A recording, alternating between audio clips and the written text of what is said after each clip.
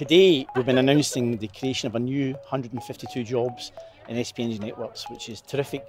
It really is the start of the growth of jobs we're going to have over the next three or four years as we head towards net zero. And it's growing our transmission business by over 25% as far as the scale of people who are working at just now. So great indication of what we've got in front of us, huge amount of organic growth and really proud to see the First Minister here supporting us and announcing these new jobs today. Well, I think this announcement by Scottish Power is hugely important in terms of our net zero journey because we're going to complete that journey successfully, which we're all determined to do.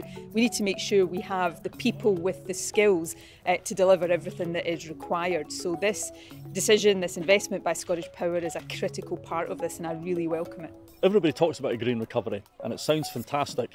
That green recovery needs the energy network, it needs the transmission and the distribution system, the poles and the wires to get the power to people's homes and into people's cars and into their heating system. These jobs are absolutely vital to delivering that.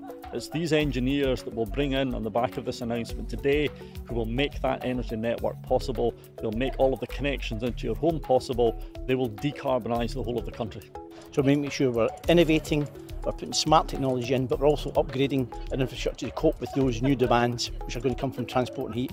And that's why We're growing the business, we're going to invest at least £5 billion over the next five years, which is terrific and huge growth within the company. And that's why we're creating these new jobs.